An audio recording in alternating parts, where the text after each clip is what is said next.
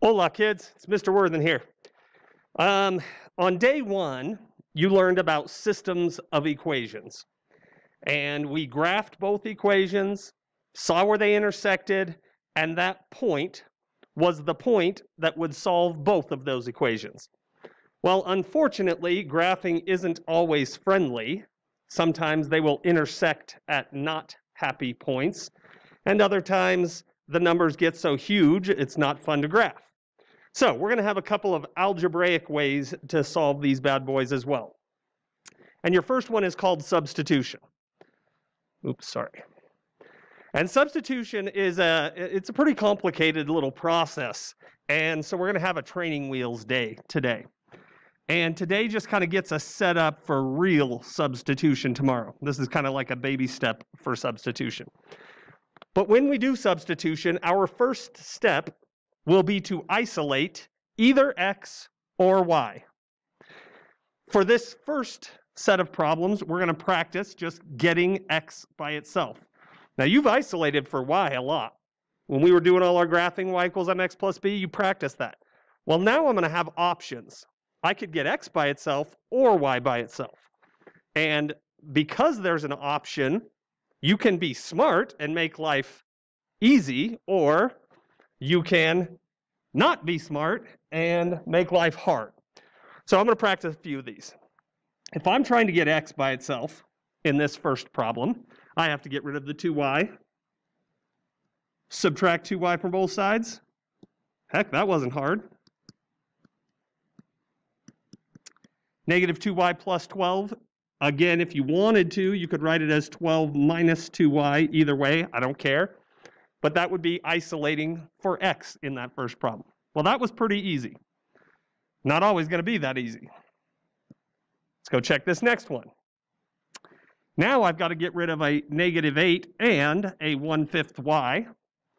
Since the 1 fifth y is connected with addition and subtraction, I'm going to get rid of that first. So minus 1 fifth y from both sides. Negative 8x equals negative 1 fifth y minus 16. Well, x is still not by itself. This negative 8 has got to go bye-bye. It's connected with multiplication, so I'm going to divide by negative 8 divide by negative 8, divide by negative 8, and now this isn't very friendly. So I got to do one negative 1 fifth divided by negative 8, so I know it's going to be positive. Going off to the side, 1 fifth divided by 8 is the same as 1 fifth times 1 over 8, which ends up being 1 over 40. So this ends up being 1 over 40 y. Negative 16 divided by negative 8 is positive 2. Yikes. X is by itself, but that wasn't very friendly or fun. And that's what I'm trying to show you. There are times when getting X by itself might be easy, and other times when it might be hard. Take a second and practice those next two. I'll throw answers up. Hit pause. Actually do them. See if you're doing it right.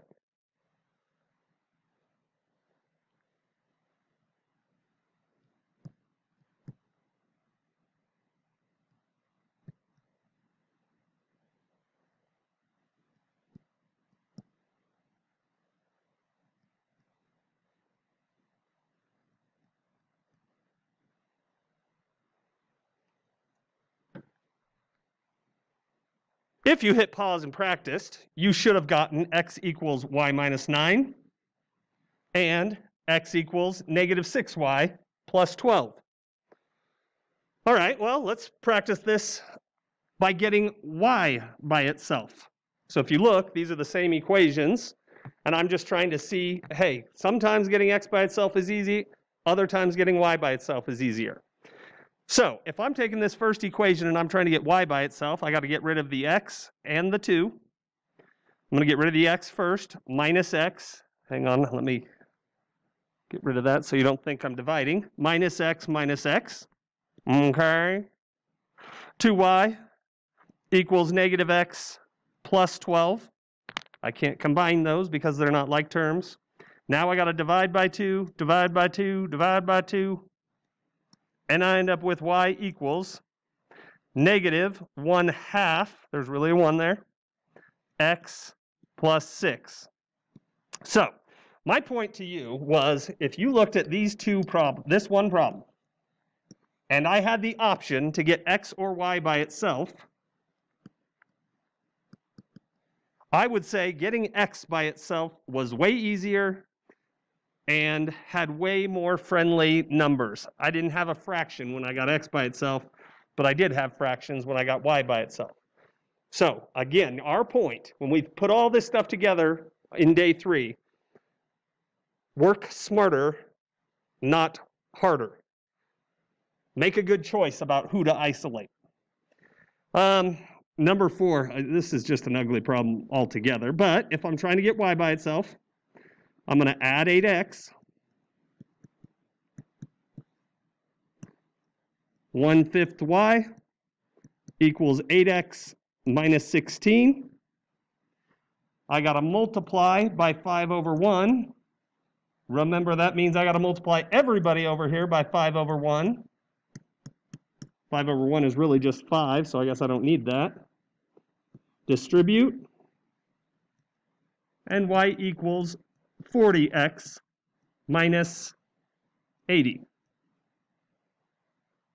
So getting y by itself was probably a little bit easier than getting x by itself in this problem. Had more friendly numbers and wasn't as nasty. Go ahead and get y by itself for c and d. So if you isolated y by its or isolated y for c and d, you ended up with y equals negative x minus 9. I would argue that both a and c were a pretty equivalent. So there wasn't a really good choice in terms of should I get x by itself or should I get y by itself. And right now, I'm telling you who to isolate for, but on day three, you're going to have to make that choice. And we need to have a feel for when it's easier to get x or y by itself. Uh, when you looked at D, we got y equals negative 1 sixth x plus 2. Uh, not very pretty. I, I would argue getting x by itself in this case was better. All right, that being said, now let's start to play with substitution. And again, I'm calling this kind of a, a, training wheels day because in all of these problems, I am giving you one of the two answers. One of the two variables, I am telling you what his value is. And when you do day three, that's not going to be the case. So what substitution means is this statement says that x equals 6. x and 6 are the same. We could trade. If I had x and you had 6, we could trade, and that would be a fair trade. Well, that's exactly what we're going to do. I'm going to take the value of x and substitute it into the other equation.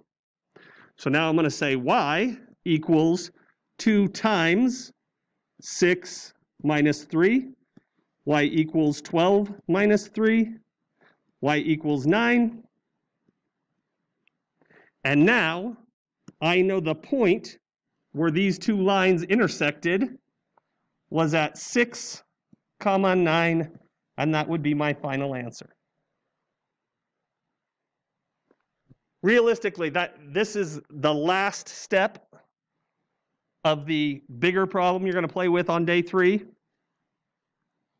And, ooh, where are we going? Sorry. And this was the first step. So tomorrow we're going to put all of it together and you'll see how it all fits. On number six, I'm not playing with x and y, I'm playing with m and n, but they're just variables. It shouldn't matter to me.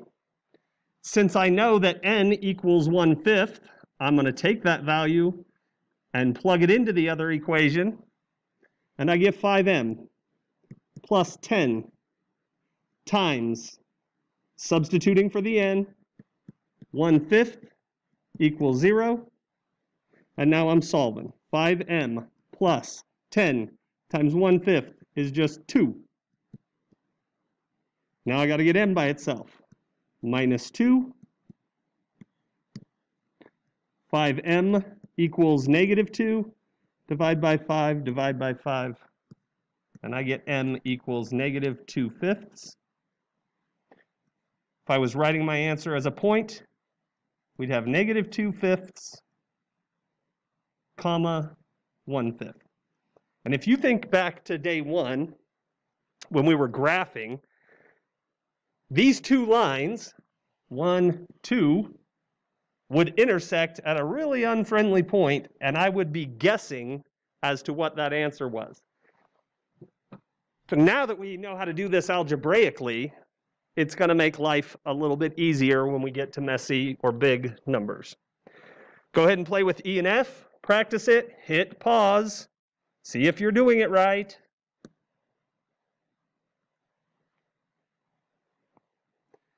If you substituted correctly and then solved for A, we should have gotten 14, and then the B was 1 half. I didn't mention this on M and N over here, but how did I know which order to put these in? Generally, we will say put them in alphabetical order. Since X comes before Y, we put X first and Y second. So since M comes before N, we put M first and N second. Since A comes before B, we put A first and B second. Likewise, when I substituted the 3 into the Y, I should have gotten 0 for my X value. And the point where these two lines would intersect is 0, 3. All right, kids, that's the beginning step of substitution. When you go to your homework, tomorrow in class.